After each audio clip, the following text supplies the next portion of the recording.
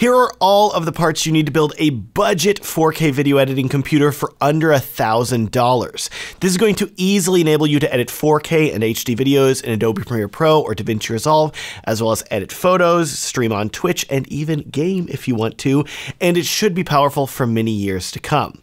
Now, there are a few quick things you need to know before we talk about the parts for this video editing build. First, all of the parts that I'm going to be talking about for this build will be linked down in the video description, as well as on my kit page, where they will all be nicely organized for you to check out. Second, this video is just going to show you the parts that you need to purchase, not how to put them together. Don't worry though, I have a video that I made a while ago that is over an hour long and details the entire step-by-step -step process you need to take to build a video editing PC from taking the parts out of the box to turning on the computer.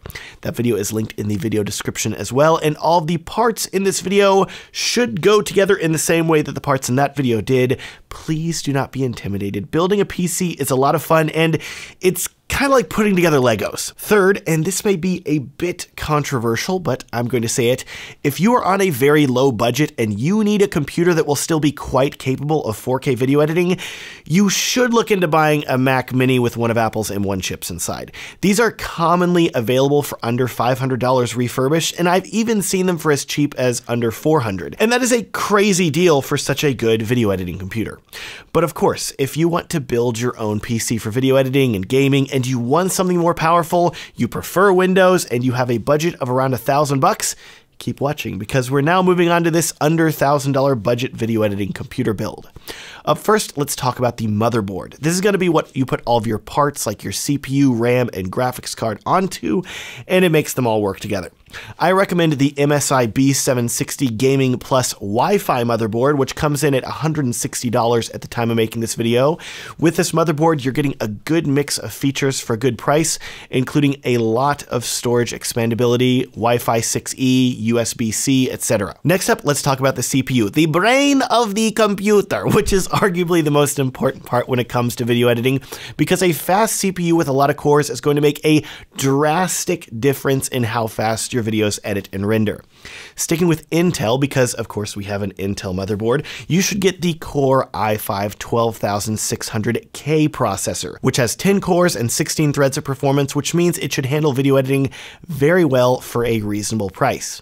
That said, if you have more money to spend though, Intel's i5 13600K CPU will give you four more threads of performance for about $100 more, and it's a good deal in my opinion, and will also work with this motherboard, so go with that if you have the budget. Keep in mind, you will need to get a cooler too for both of these CPUs, and for that I recommend the ID Cooling SE214XT. Just rolls off the tongue there cooler, which currently retails for 18 bucks. It's a no frills cooler that will keep your CPU cool. Moving on, let's talk about RAM, aka memory. This is what your computer needs to run its programs. For RAM, I would recommend 16 gigabytes of crucial DDR5 4800 memory. Yes, we are using DDR5, which is finally coming down enough in price for me to recommend it. And at $55 at the time of making this video, this RAM won't break the bank. Now, as a RAM upgrade, I've found the sweet spot for 4K video editing is 32 gigabytes of RAM. Specifically for this build, I would recommend purchasing 32 gigabytes of Corsair Vengeance DDR5 RAM at 5600 megahertz, which retails for 114 bucks. Up next, you have the computer's SSD. This is the fast hard drive that's going to store all of your programs while editing video. This motherboard supports PCIe 4.0 X4 SSDs, which basically means that they're faster than ones from a few years ago. Specifically, I would recommend the Crucial P3 Plus 500 gigabyte M2 SSD, which is very well loved and quite fast. But if you have the budget, Crucial also makes a 1 terabyte SSD for only about $12 more. So don't be afraid to go crazy and spend a bit extra as an upgrade. Please do keep in mind that I only recommend using the SSD to store your programs. For the fastest video editing speed, it's best to have a smaller SSD that holds your programs and a larger SSD or regular hard drive to store your video files. I'll be sure to link down in the description to hard drives and SSDs that I recommend, both internal and external. Now, let's talk about everyone's favorite part of any computer the graphics card. And this is the part where I can finally just make an easy recommendation because GPU stock and prices have finally stabilized after the insanity of the last few years. If you want a great all around option that's going to handle 4K video editing plus some gaming too, I would get the MSI GeForce RTX 3060 Ventus, which retails for 289 bucks at the time of making this video. This graphics card has 12 gigabytes of VRAM, which is very important for video editing, and because it's an NVIDIA card, it will support encoding most videos when rendering, which makes everything faster overall. Just keep in mind that if this graphics card goes out of stock, you don't have to buy another MSI card. Just look for another NVIDIA RTX 3060 from another manufacturer and buy that, and you'll be good to go. Graphics card's over, we're almost done. Let's talk about the power supply for this build, which you're going to need to give your parts all the electrical juice that they crave. That's what plants crave, okay? Anybody get that reference? I don't know. I would recommend the EVGA 650N1 power supply, which is one of my favorite brands that I've pretty much always used in my computers, and they are very reliable. Please keep in mind this is not a modular power supply, meaning that all the cables are permanently attached to the back of the power supply, and this can make cable management a bit more difficult, but it does keep the cost down. If you have some extra money though and want easier cable management, I would recommend the EVGA 650B5 power supply, which is fully modular and should result in a cleaner looking build for not too much more money. Lastly, you need something to put all these parts inside. The PC case.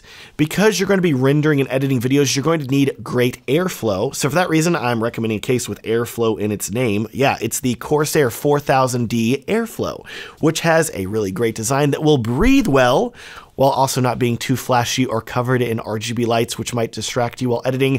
I really like just the subtle looks of this case. It's pretty. Now, I do want you to be aware that this case does not have any 5.25 inch drive bays, meaning you're not going to be able to install a CD, DVD, or Blu ray burner inside the case. If you're one of those people that still makes discs, I know you're out there. Okay, that's why I'm telling you this. The good news is that you can pick up an external DVD burner for about 25 bucks and an external Blu ray burner for less than 100. Just get one of those. I'll link to them down below. And that is your under $1,000 video editing PC build. As always, though, there's a lot more you're going to need mouse, keyboard, monitor, speakers, operating system for all of those physical accessories. There are so many options out there that are going to depend entirely on what you prefer. I will link down in the to my recommendations for keyboards, mice, speakers, and both a 1080p or 4K video editing monitor, depending on which one you want. I would recommend the 4K option.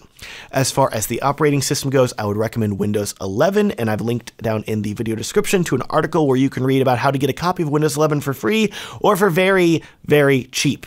Love that. Thanks so much for watching. If you're interested in learning more about video editing, I have a free guide that I've put together called Edit Videos Like a Pro. And this guide is going to show you some of the most important things I've learned to help you improve your video editing. You can download the guide for free at the link down in the description, next to the link to all the parts for this build guide. If you haven't checked them out yet, they're all linked down there. Thanks so much for watching and have a great day.